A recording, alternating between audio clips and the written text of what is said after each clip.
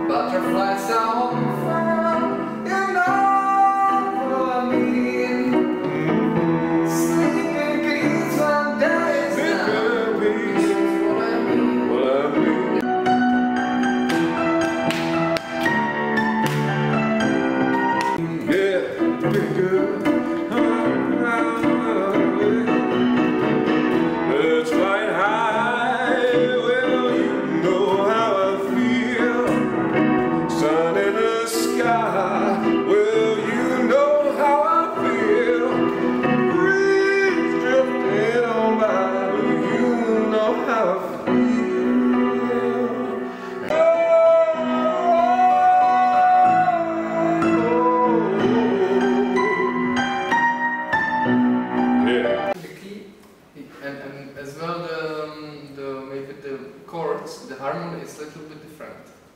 Yes, he right? he's more of a swing, swing jazz. Kind of uh-huh. does a swing version of it, yeah.